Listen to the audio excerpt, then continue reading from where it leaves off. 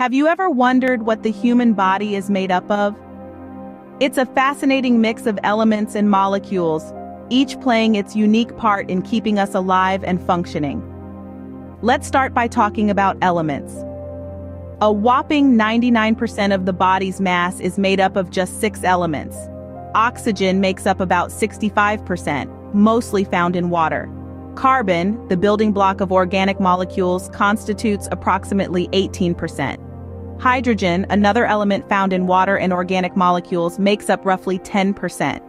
Then we have nitrogen, essential for proteins and nucleic acids, making up about 3%. Calcium, a major component of our bones and teeth, constitutes approximately 1.5%. Phosphorus, which is found in bones, teeth, and energy molecules, makes up around 1%. But what about the remaining 1%? This tiny fraction comprises other elements like potassium, sulfur, sodium, chlorine, and magnesium, each crucial for various bodily functions. But elements are just one way to look at the body's composition. If we break it down by molecular category, we get a different picture. Water, essential for cell function and temperature regulation, makes up about 60% of the body. Proteins, the building blocks of tissues and enzymes, make up around 15 to 20%.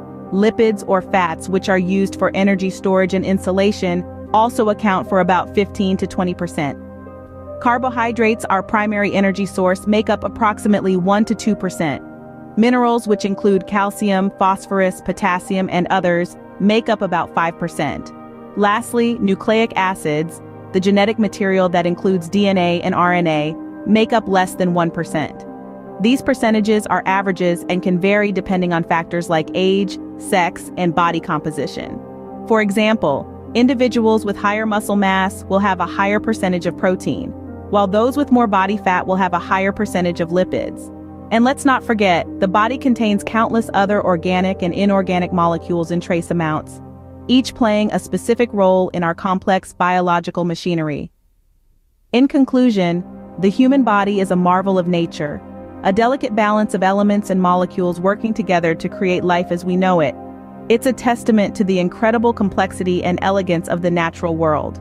So the next time you look in the mirror, remember you're not just looking at a body, but at a universe of elements and molecules, each playing its part in the symphony of life.